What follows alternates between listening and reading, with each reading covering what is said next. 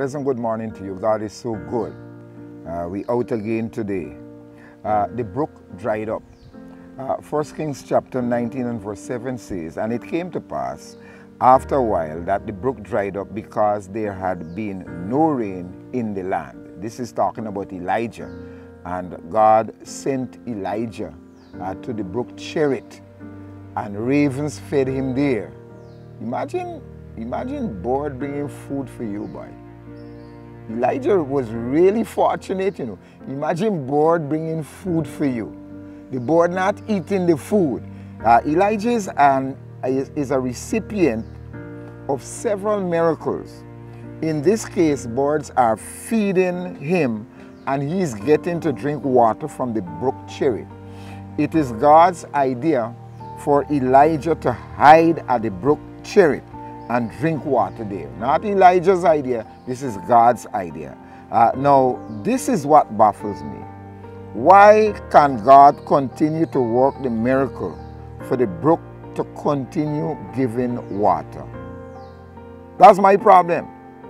After all, this is God star batsman who can bring about, who has brought about a reformation in Israel after the Mount Carmel experience.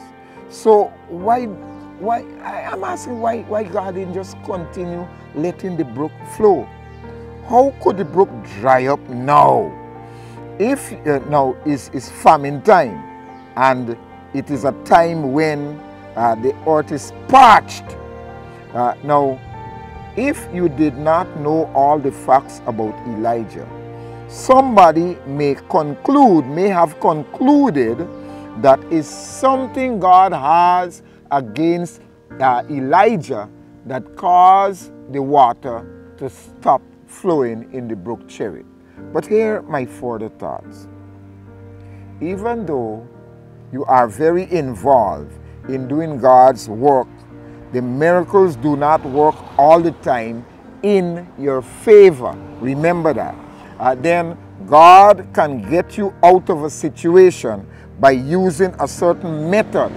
But that does not mean, that does not mean that he will use the same method all the time.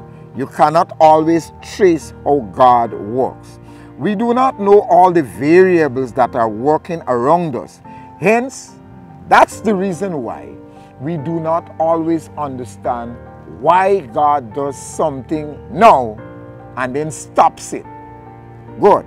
Uh, then, whenever you are the recipient of a favor from God, a miracle from God, stop. Tell God thanks for the miracle, no matter what is happening.